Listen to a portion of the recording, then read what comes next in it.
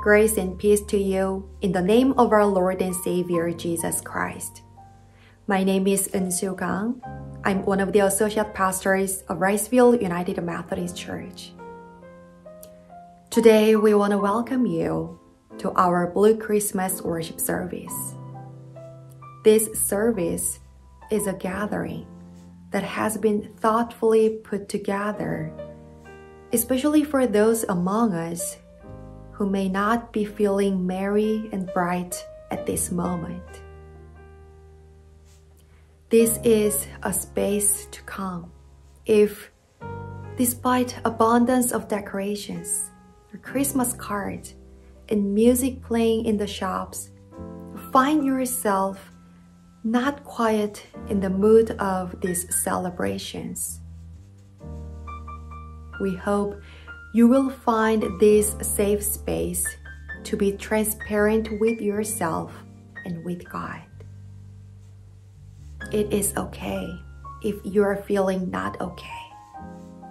It is okay if you are feeling sad or discouraged or even angry. Here, you can be honest with struggles and with many questions. So as we reflect on Christmas message today, we hope you will find hope and comfort that you are not alone. We have various music to listen to, and we have scripture reading and short message. And we will light candle and spend time in prayer and silent reflection. Will you join us to commit this time together to God? Let us pray. God of mercy and love, we gather here today as hurting people, bringing our pain, our sorrow, and our confusion to this safe space. Would you meet us in our darkness? Would you give us freedom to struggle together as we seek your presence we ask for strength for today, courage for tomorrow, and peace for the past. In your holy name, Amen.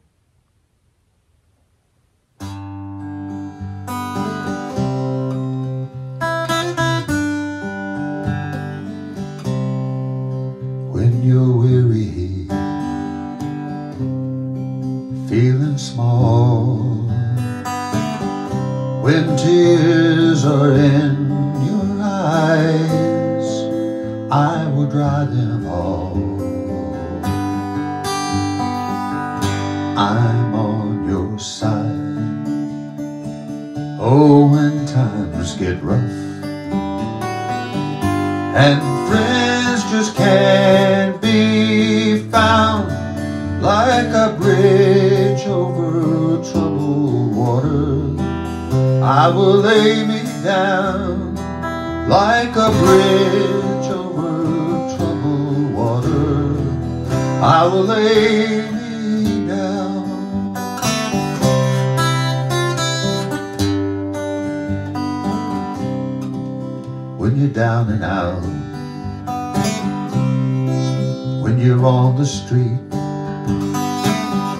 When evening falls so hard, I will comfort you.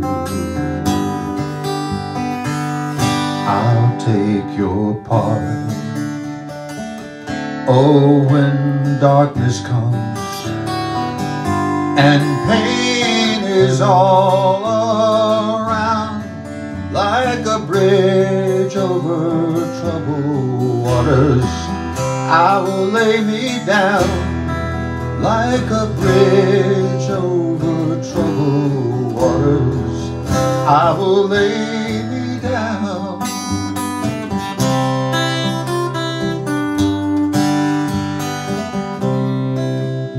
Sail on, silver girl.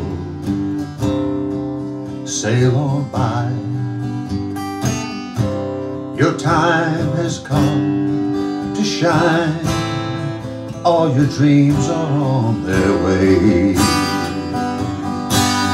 See how they shine.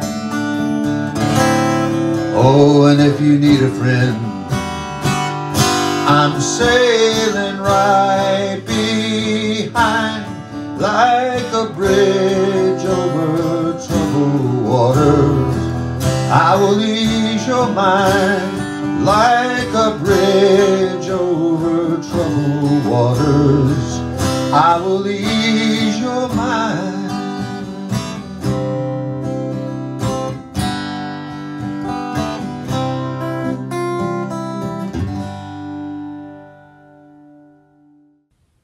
Today, the first reading is from Ecclesiastes chapter 3, verses 1 through 11. There is a time for everything, and a season for every activity under the heavens. A time to be born and a time to die. A time to plant and a time to uproot.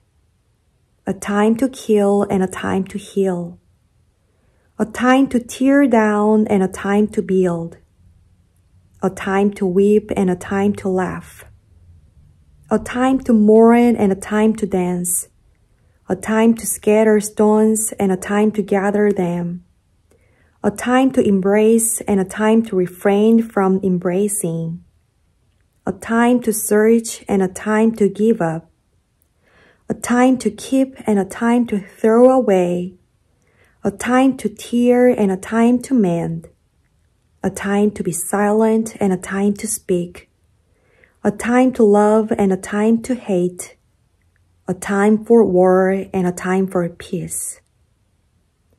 What do workers gain from their toil? I have seen the burden God has laid on the human race. He has made everything beautiful in its time. He has also set eternity in the human heart. Yet, no one can fathom what God has done from beginning to end.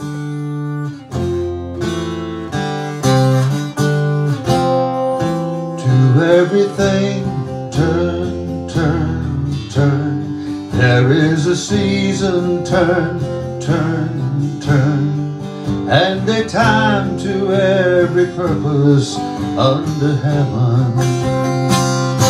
A time to born, a time to die, a time to plant, a time to reap, a time to kill, a time to heal, a time to laugh, a time to weep. My God, my God, why have you forsaken me? Why are you so far from helping me, so far from the worries of my groaning? Oh my God, I cry by day, but you do not answer, and by night, but I find no rest.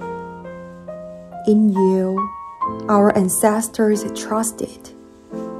They trusted, and you delivered them.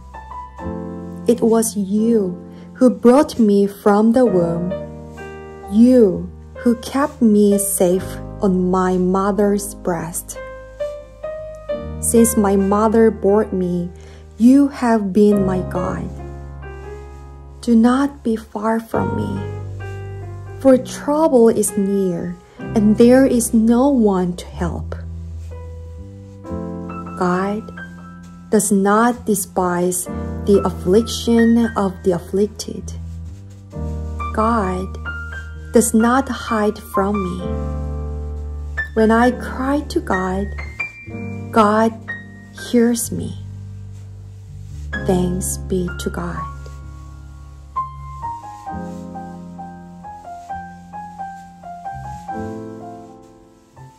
The second reading is from Isaiah chapter 40, verses 1 through 8.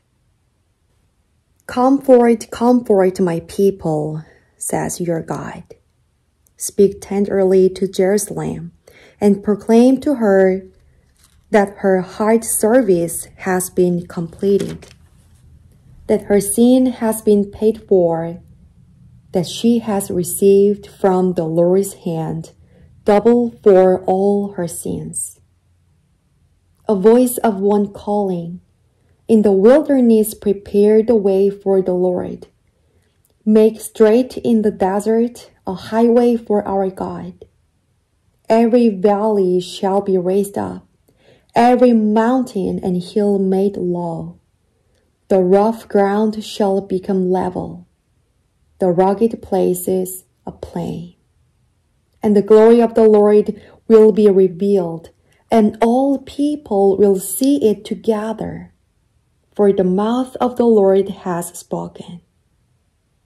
A voice says, Cry out. And I said, What shall I cry? All people are like grass, and all their faithfulness is like the flowers of the field. The grass withers and the flowers fall, because the breath of the Lord blows on them. Surely the people are grass. The grass withers and the flowers fall, but the word of our God endures forever.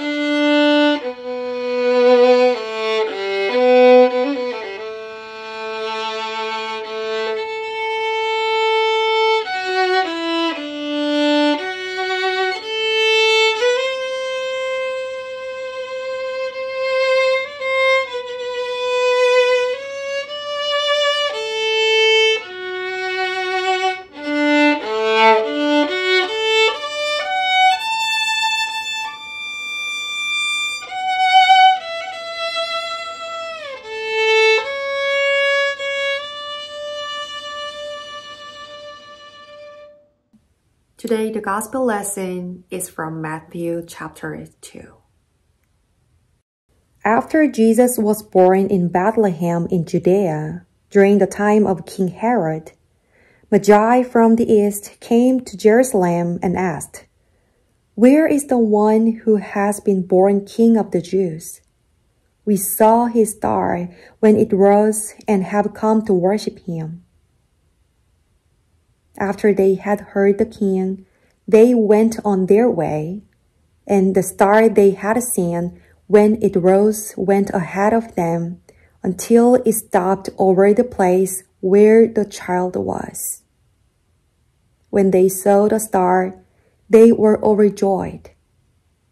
On coming to the house, they saw the child with his mother Mary, and they bowed down and worshipped him. It is a Christmas time. Well, um, a season we usually associate with happiness and joy and often called the most wonderful time of the year. But today on Blue Christmas, our hearts are heavy and drained and lonely. In this moment, we can think about the people in the story of Jesus' birth who went through very tough journey. A three wise men from the east. Well, we usually focus on the cool and fancy and expensive gift they gave to um, baby Jesus. But let us take a closer look at their journey. The journey of the three wise men was really, really hard. It tested their faith and endurance. They traveled a long way for at least four months. They had to deal with the wide and cold sky and tough landscapes. It was not just a trip. It was also a journey of their souls, filled with doubt and discomfort. To make this journey, they had to leave behind their jobs, their fame, comfy homes, and tasty food. And they had to sit on uncomfortable camel seats. And during the day, the sun was so hot in the desert that they couldn't move. So they traveled at night. As they went through the dark and never-ending desert, they couldn't see much ahead. They just kept going, dealing with doubt in their minds, wondering if they were doing the right thing. In the end, they reached a simple place where they found baby Jesus. But this baby was not just a baby, but a sign of new beginnings and hope being born again. The end of their long journey was about new life, not death. And this new life is eternal life. Their long and uncertain journey led them to a profound truth. And they encountered divine and it changed them forever. Our gathering on this Blue Christmas is like this journey. We are all travelers on a path of life, and we acknowledge the weight of our journey.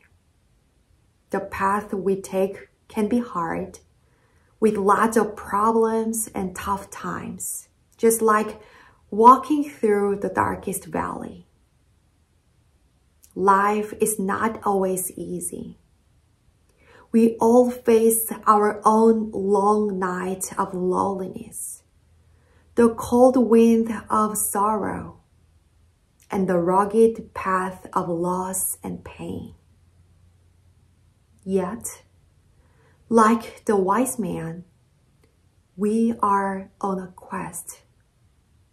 We are seeking something beyond ourselves, a glimpse of hope a moment of peace. On the rugged path, we recognize the stars that guide us, our faith, our loved ones, and the small moment of grace that light up our way, and our belief in something greater at the end of our journey. So during this time, let us take solace in our shared journey. Let us get strength from the story of the wise man, who, despite the hardships, continue their quest with unwavering determination. Their journey reminds us that even in the darkest times, there is a light that guides us. And there is a hope that sustains us. Blue Christmas is a time to embrace our weakness and to acknowledge our need for support and to offer that support to others. So let us remember, even though our journeys are individual, we do not travel them alone. We are a community, bound together by our shared experiences of love and loss, of joy and sorrow. So may this Blue Christmas bring you comfort and peace. May it be a time of gentle reflection and quiet hope. And may the journey of this wise man inspire us to continue our own journeys with courage, faith, and knowing that at the end of long night, there is a dawn of peace and rebirth waiting for us. I'd like to share one poem, The Journey of the Magi, written by T.S. Eliot. A cold coming we had of it, just the worst time of the year, for a journey and a, such a long journey. The ways deep and the weather sharp, the very dead of winter, and the camels galled, sore-footed, fractory, lying down in the melting snow there were times we regretted. The summer palaces on slopes, the terraces, and the silken girls bringing sherbet. Then the camel man cursing and grumbling and running away and wanting their liquor and the women. And the night fires going out and the lack of shelters and the cities hostile and the towns unfriendly, and the villages dirty, and charging high prices. A hard time we had of it.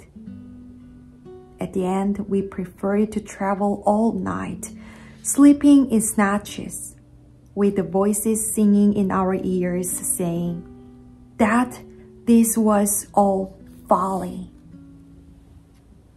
Then at dawn, we came down to a temperate valley wet, below the snow line, smelling of vegetation, with a running stream and a water mill beating the darkness, and three trees on the low sky, and an old white horse galloped away in the meadow.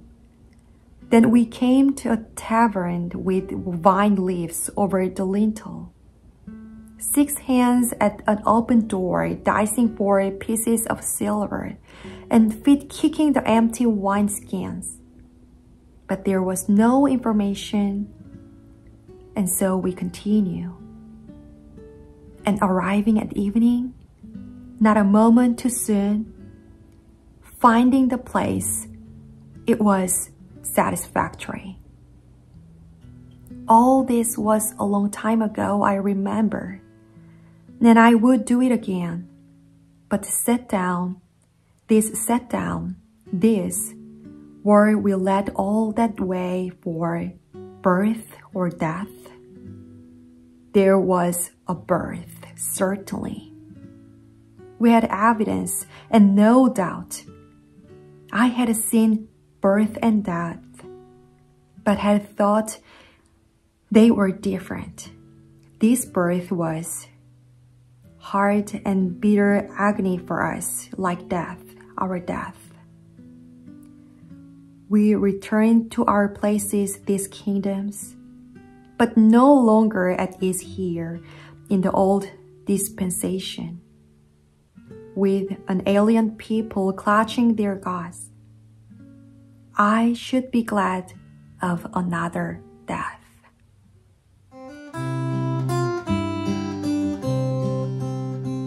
The King of love my shepherd is, whose goodness faileth never.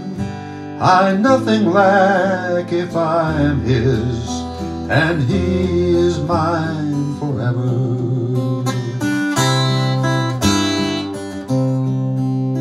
Where streams of living water flows, My ransom soul he leadeth, and where the verdant pastures grow, with food celestial feedeth. Perverse and foolish oft I strayed, but yet in love he sought me, and on his shoulder gently laid, and home rejoicing brought me. Death's dark vale I fear no ill, with thee, dear Lord, beside me, thy rod and staff my comfort still, thy cross before to guide me.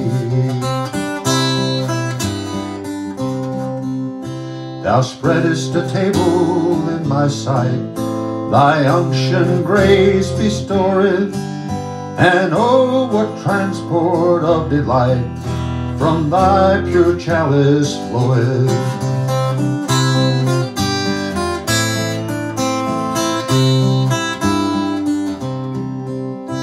And so through all the length of days, thy goodness faileth never. Good shepherd, may I sing thy praise within thy house forever. As we gather today, let these candles we light be symbols of our journeys toward hope and love.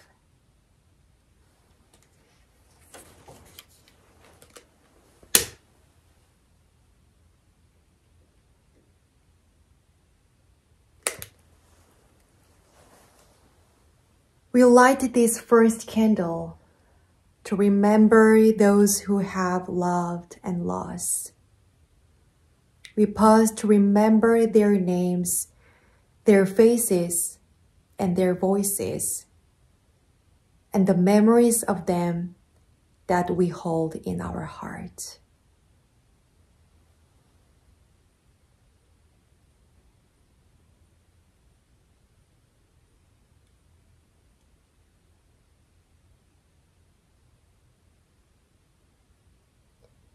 We thank God for them and ask for His comfort. And when we are feeling overcome with sadness, we ask for peace that is greater than we can ever understand. Lord, hear our prayer.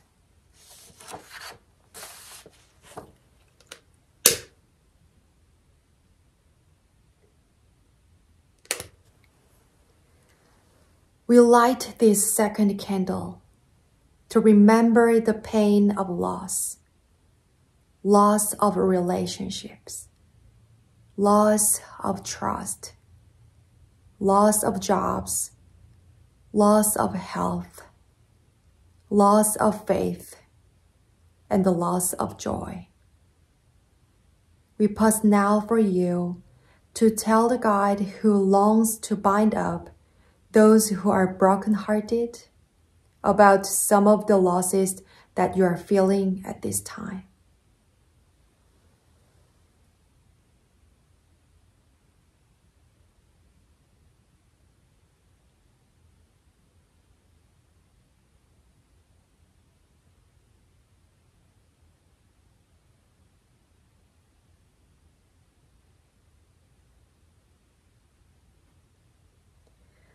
We acknowledge and embrace the pain of the past, O oh God, and we offer it to you, asking that into our wounded hearts and open hands you will place the gift of peace, shalom. Lord, hear our prayer.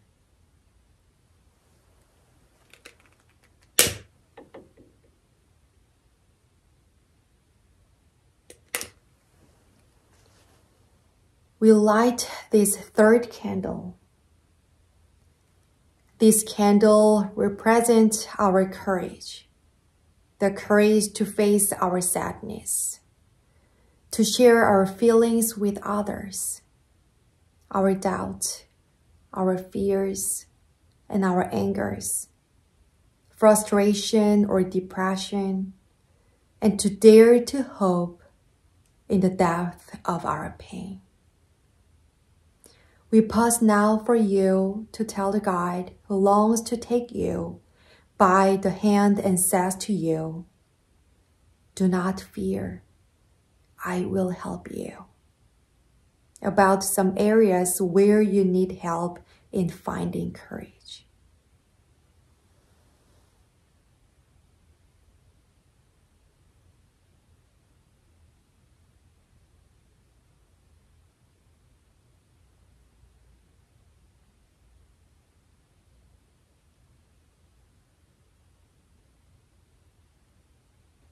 Lord, hear our prayer.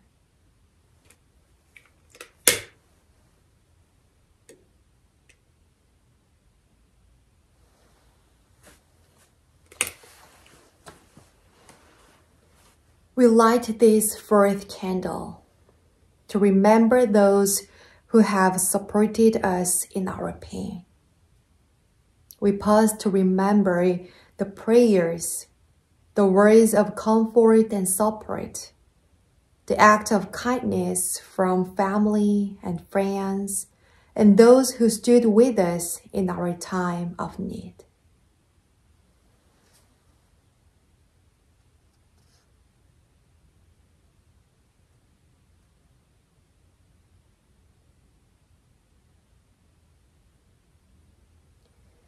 We thank you, God, for sending others to remind us that we are never alone. And thank you for sending your Son, Jesus. Amen. Beloved Wrightsville, go into the night, knowing that you need not go alone.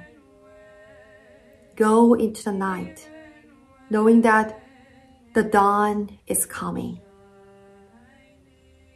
Go into the night, knowing that love endures forever. Go into the night, knowing that Christ is coming. Go now. May the peace of Jesus Christ, the peace that surpasses all our understanding be with you. Amen.